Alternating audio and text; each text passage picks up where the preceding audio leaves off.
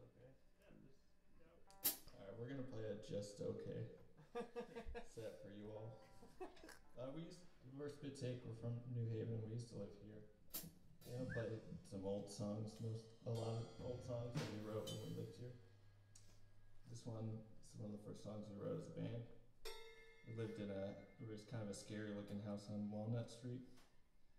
One time I was skating, skateboarding out in front of the house and a, a little kid came up to me and he said, oh, is that house haunted? I said, no, I live there. I said, that doesn't mean it's not haunted. and that's what this song's about, sort of.